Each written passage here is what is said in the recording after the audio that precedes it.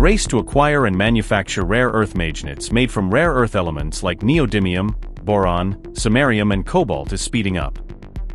With China ahead of the competition by miles being the biggest rare earth magnet producer, accounting for about 90% of global output, thanks to its dominant position in mining and processing.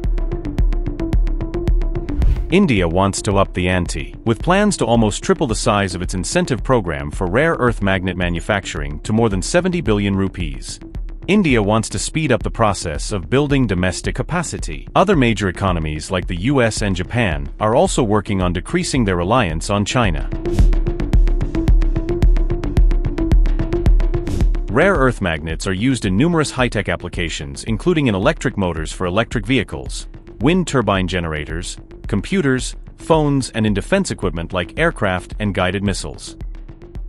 According to a Bloomberg report, to speed up India's production capacity, a proposal to triple the current incentives is awaiting cabinet approval. The proposal, awaiting cabinet approval, represents a significant step up from an earlier $290 million plan aimed at securing critical materials. India is also joining hands with several nations to accelerate efforts to develop a supply chain for rare earth magnets after China, which processes about 90% of global output, tightened export controls in April amid its trade dispute with the US, disrupting supplies for automakers worldwide. Earlier this year, Prime Minister Narendra Modi warned that critical minerals should not be weaponized, while calling for stable, diversified global supply chains. India's rare earth expansion plan aligns with global efforts to reduce reliance on China. But so far, limited funding, expertise, and long project timelines remain a challenge. As of now, domestic production is non-viable without subsidies. So mostly, state-owned firms are leading early efforts to secure overseas mining partnerships. The technological know-how to manufacture rare earth magnets at scale is heavily concentrated in China, and mining rare earths poses environmental risks due to their association with radioactive elements.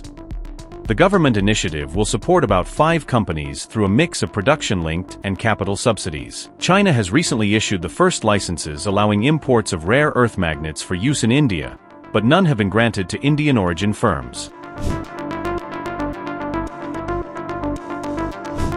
According to reports, the Indian government is also funding studies on the so-called synchronous reluctance motors, a technology that could eventually reduce dependence on rare earth materials. Several overseas suppliers have expressed interest in providing rare earth materials to India, whose projected annual demand of about 2,000 tons of oxides can be easily met by global producers. The plan could face headwinds if China's recent easing of export curbs for the US and European Union is extended to India that could make Chinese magnets cheaper and more accessible globally, potentially deterring long-term investment in India's nascent sector.